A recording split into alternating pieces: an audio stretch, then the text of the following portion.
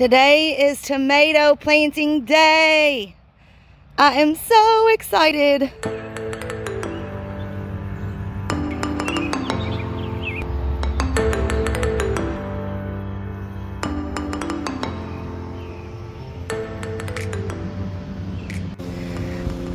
Today we are going to be weeding this area behind our barn I haven't decided yet if I want to put my tomatoes back here or my dahlias.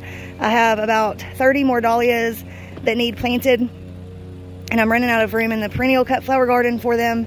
So I'm thinking about putting them over here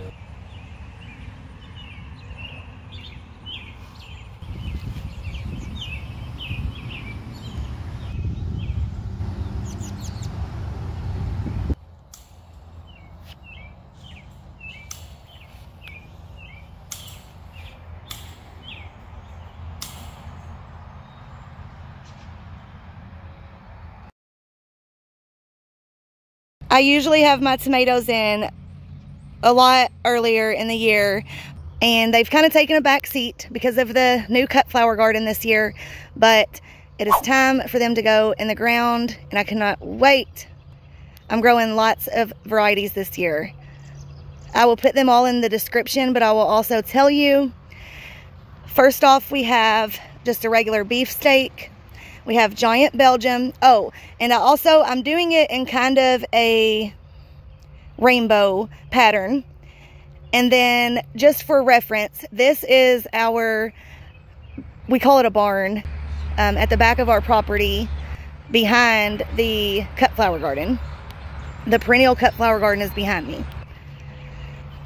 But we have just a regular beefsteak. Then we've got Giant Belgium. We've got delicious Matt's Wild Cherry, which are all red. We've got Pink Oxheart, which is a pink. We've got Sun Gold, which is a very popular uh, cherry tomato and orange cherry tomato that is supposedly really sweet. I'm very excited to try that one. Matt's Wild Cherry is a popular red cherry tomato. I'm excited to try that one also. Next we have Dr. I don't know if it's Dr. Witchy's or Dr. Wykes I've heard people say it both ways. But that one is a large orangish yellow tomato that Jess, Jess from Roots and Refuge talks about being her favorite or one of her like top favorite tomatoes. Next we have Orange Oxheart, which is an orange. And then we have Barry's Crazy Cherry. I got this one from uh, Baker's Creek. This one's also a popular one. It's kind of got a odd shape to it. It's a yellow cherry and it's supposed to be extremely prolific and have very large trusses of cherry tomatoes. Then we have Wapsipinicon Peach. I grew that one last year. I really like that one. It has a fuzzy texture just like a peach um, and it has a really great taste. They are pretty small though. Then next we have White Cherry. It's my first time growing that one.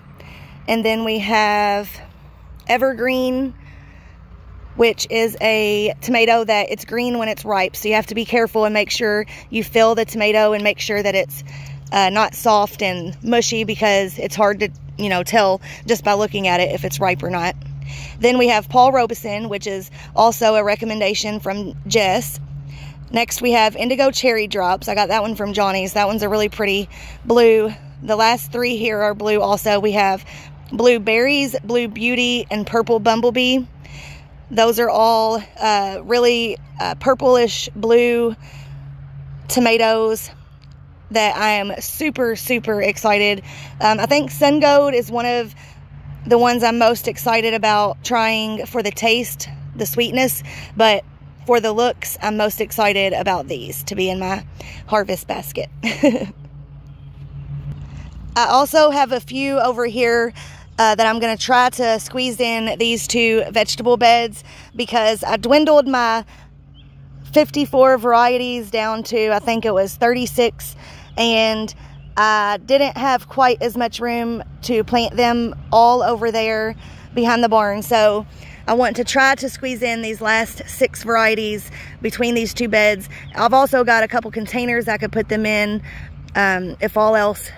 But we have Great White, Black from Tula, uh, Amana Orange, Japanese Black Trifele, which is a pear-shaped. Uh, that one was a really good tasting tomato. Um, it, it didn't like blow my mind like some people said it was, you know, so, so good. But it could have been that I was overwatering them. Um, so I want to try that one again this year. But very pretty tomato nonetheless and still tasted good. Uh, Dancing with Smurfs is a blue cherry tomato. And then we have uh, pearly pink cherry. So as you can see, I used four T-posts and I put cattle panel at the top. I wasn't thinking, I was thinking about how tall tomatoes get uh, and I wanted to get it, you know, as far up there as I could to take advantage of all the height of the T-posts and I wasn't thinking about the fact that now I'm left with all of this blank space and the tomatoes don't have anything to attach to until they get up there. Um, my husband was like, I was to say something, but I figured you knew what you wanted. And I was like, no, you should have said something. So what I'm to do is tie string probably two, maybe three times up the, uh, the bottom part and do kind of like a Florida weave type situation. Um, just to you know, just to kind of su support them a little bit until they get up to the cattle panel. Now to amend these beds, all I'm doing is putting some compost into each hole. I'm going to be putting about a tablespoon of biotone into each planting hole. I've also got some uh, ground up eggshells that I will sprinkle maybe a teaspoon into each hole. And then I will fertilize these once a week with Neptune's Harvest for oh, I'd say about a month. I'll do it once a week. And then I will just do it as it looks like it needs it. And I will also start to do garden tone once a month or tomato tone. Any of the garden tones, tomato tones, any of those really are going to work well. Uh, but I will say so far, my experience with the biotone, using it when I'm planting new plants, I have uh, noticed a very, very big difference in the amount of growth and like, you know, them not being, getting as much transplant shock. Uh, so I definitely do recommend that. Uh, it took me a while to like invest in it because it is, it is a little expensive. Excuse me. Uh, but I definitely, I see the difference it makes and I definitely believe that it's worth it.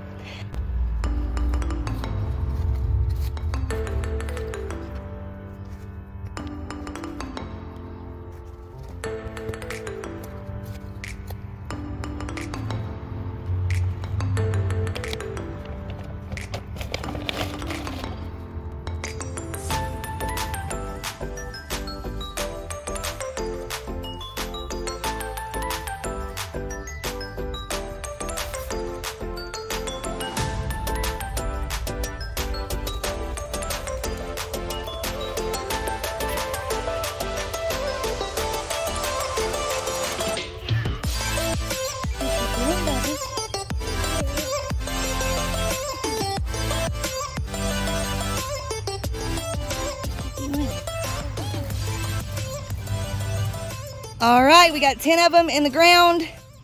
The kids are up now, so my little one will usually like just sit around and relax for about an hour when he first wakes up, but then he is constantly on the move and we don't have our fence up yet, so uh, I have to pretty much follow him all around the yard or we have to just stay in the house. All right, guys, we got them all in the ground. I didn't get to film a whole lot for you. Like I said, uh, my kids are up and so we are gonna go play at the park for a little bit to reward my older son Bailey for keeping him busy for me for a little bit.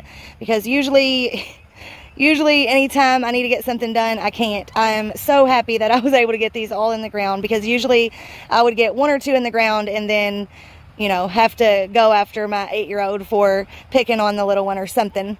Now I'm gonna quickly water them and then we're gonna go to the park for a little bit it's actually very overcast. I think it's going to rain, but I'm not sure if it's going to sprinkle or rain a lot. So I'm going to go ahead and water these guys in. Some of them are pretty thirsty. I watered, or I planted most of them up to their first, uh, their seed leaves. So about an inch to an inch and a half deeper than they originally were.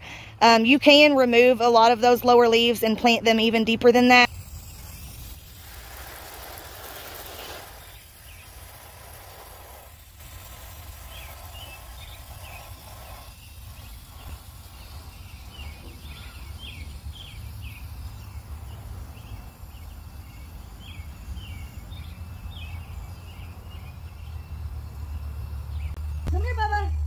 Your hands. Watch your hands off. All right, guys, so here we are uh, about two days later. The next day after planting these guys, we had a really, really bad rainstorm, but they are all looking really good. Not phased one bit. Now, this is my first year using this trellising system. Uh, in the past, I've always used the larger tomato cages. Uh, I think they're 54 inches tall. Um, and then I, I will usually put some of the seven foot stakes in the cage with it because the cages just are never tall enough. Um, and then, and then even the seven foot stakes end up not being tall enough.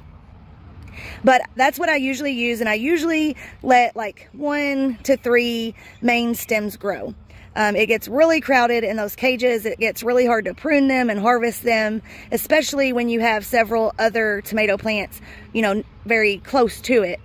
So I really think that it's going to be a lot better for them to be growing on this cattle panel because essentially they're going to be kind of growing in like a flattened out manner instead of in like a round bush form. Because I'm going to be taking each stem and you know tying it up to the cattle panel trellis. So I'm going to be able to easily get to each and every stem instead of having to you know get in behind and beside and all of that